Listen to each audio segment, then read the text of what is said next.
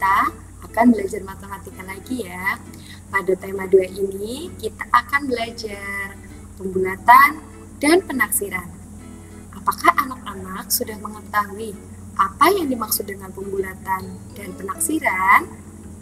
Yuk kita tonton videonya. Nah, pembulatan. Pembulatan bilangan dilakukan kepada puluhan terdekat, ratusan terdekat, dan ribuan terdekat. Tentunya kalian sudah mengetahui mana-mana posisi yang sebagai puluhan terdekat, ratusan terdekat, dan ribuan terdekat. Sudah pasti di kelas sebelumnya kalian sudah mempelajarinya untuk letak-letak bilangan. Langkah-langkah pembulatan bilangan yang pertama adalah perhatikan angka pada tempat satuan, puluhan, dan ratusan. Yang kedua, jika angka satuan, puluhan, atau ratusan kurang dari 5, maka bilangannya harus dibulatkan ke bawah. Yang ketiga, jika angka satuan, puluhan, atau ratusan lebih dari lima, maka bilangan tersebut dibulatkan ke atas. Nah, angka yang lebih dari 5 adalah 5, 6, 7, 8, 9. Oke? Nah, kita masuk ke contoh soal. Contoh yang pertama, pembulatan ke puluhan terdekat. Nah, bulatkan 154 ke puluhan terdekat. Jawab, harus kalian ingat dulu, karena ini perintahnya dibulatkan ke puluhan terdekat, maka yang harus kalian lihat dengan teliti adalah angka satuannya. Lihat angka satuannya. 154. Yang menjadi satuannya adalah angka 4. Angka 5 sebagai puluhan, angka 1 sebagai ratusan ya anak-anak. Nah, karena kita melihat satuannya, ingat lagi, 0 sampai 4 mempunyai syarat pembulatan ke 0. Syarat yang selanjutnya, 5 sampai 9 pembulatannya menjadi 10. Karena ini 4, Yuk kita kerjakan. Jadi 154 satuannya adalah 4. Berarti menggunakan persyaratan yang pertama atau 0 sampai 4 pembulatannya menjadi 0. Jadi 154 dibulatkan menjadi 150. Angka 4-nya berubah menjadi 0. Nah, paham atau belum? Kita teruskan lagi ya. Sekarang pembulatan ke ratusan terdekat. Contoh soalnya. Nah, bulatkan ke 259 ke ratusan terdekat. Tadi sudah puluhan, sekarang ratusan. Harus diingat kalau ratusan terdekat yang dilihat adalah puluhannya puluhannya. Yang sebagai puluhan yang mana? 9 sebagai satuan, 5 sebagai puluhan, 2 sebagai ratusan. Lihat puluhannya. Syaratnya 0 sampai 4 pembulatan menjadi 0. 5 sampai 9 pembulatan menjadi 100. Nah, jadi 259 tadi berapa ya puluhannya?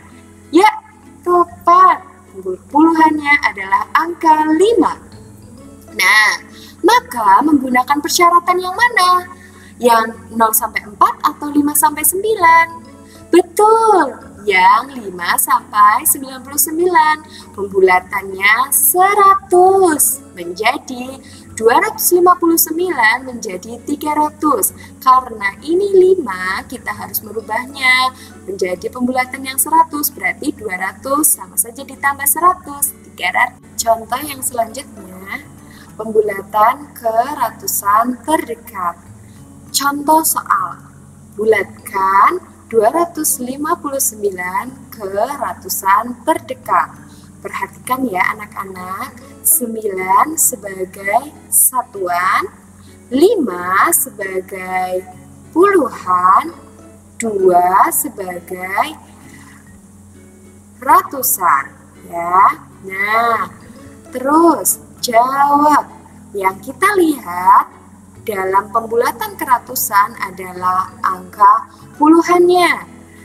Nah, syaratnya 0 sampai 4 pembulatan ke 0, 5 sampai 9 pembulatan ke 100. Nah, tadi puluhannya yang mana ya? 2, 5, atau 9?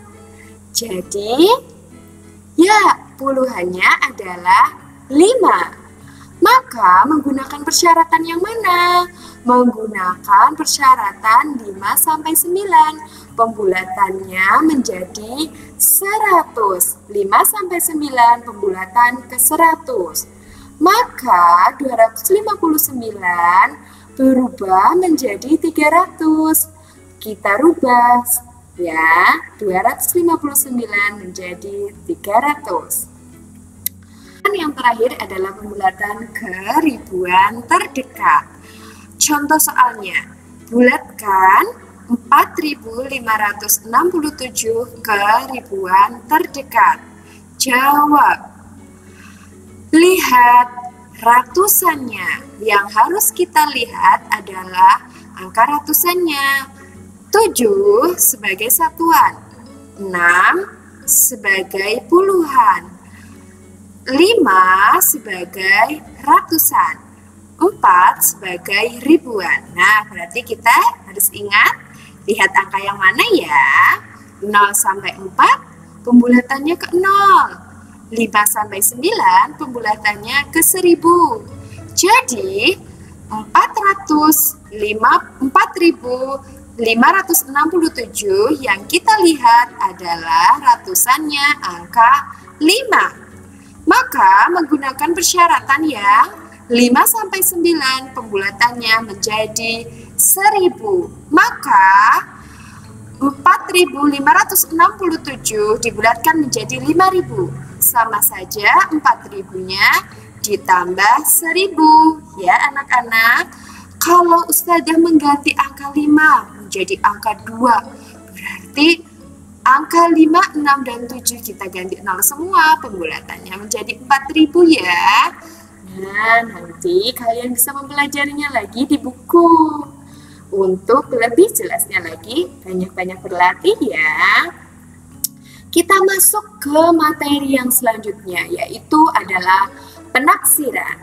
Nah, cara menaksirkan gimana ya? Langkah-langkah yang pertama, lakukan pembulatan setiap bilangan ke puluhan, ratusan, atau ribuan terdekat. Tadi kita sudah melakukannya. Yang kedua, hitunglah hasil operasi hitung bilangan yang telah dibulatkan. Contoh penaksiran, taksirkan ke puluhan terdekat. Soalnya 378 dikurangi 192 ditambah 285. Kira-kira berapa ya? Nah, sudah muncul. 7 pastilah syarat yang 5 sampai 9. Berarti berubah menjadi naik atau tambah 10 berarti 380. Terus 192. Kita lihat angka 2-nya karena kepuluhan berarti lihat angka satuan. Jadinya pakai syarat yang 0 sampai 4 jadinya ke 0 berarti 190 ditambah nah ini angka satuannya 5 berarti kita naik jadi 290 kita jumlahkan 380 kurangi 190 190 ditambah 290 jadi jawabannya adalah 480 oke okay? Sekarang taksirkan ke ratusan terdekat. Kalau ratusan terdekat berarti kita lihat angka puluhannya ya. Nah, 378 dikurangi 192 ditambah 285 kira-kira berapa ya kalau ditaksirkan ke ratusan terdekat? Nah, ini angka 7 berarti naik menjadi 400. Ini puluhannya 9, berarti juga naik menjadi 200. Ini 8, oh berarti naik juga menjadi 300. 400 dikurangi 200 berapa? Ya, 200. Berarti 200 ditambah 300 adalah 500. Jaraknya tidak terlalu jauh ya antara 480 dan 500. Sekarang contoh penaksiran yang lain. Ada taksirkan ke puluhan terdekat 333 dibagi 111 kali 89 kira-kira. Kalau kita hitung tanpa menggunakan penaksiran pastilah butuh waktu yang lama. Coba kita ingat-ingat. Kalau menaksirkan ke puluhan terdekat kita lihat angka satuannya. Nah 330 karena 3 menjadi 0 111, 1 juga berubah menjadi 0 ya. Nah ini angka 9, berarti naiklah 10, jadinya 90. 330 dibagi 110. Gampang sekali, ya betul. 3, 3 dikali 90 pastilah 270. Yeay. Sekarang taksirkan ke ratusan terdekat. 333 dibagi 111 kali 89. Taksirkan. Nah, ini karena puluhannya angka 3 berarti menjadi 300. Ini angka 1 menjadi 100. 8, 8 berarti menjadi 100. Nah, 300 bagi 100, 3. 3 kali 100, pastilah 300. Berarti penaksirannya adalah 300. Ya anak-anakku, sekian pembelajaran dari Ustada. Semoga kalian bisa memahami materi pembulatan dan penaksiran. Selamat mengerjakan latihan soal-soal. Wassalamualaikum warahmatullahi wabarakatuh.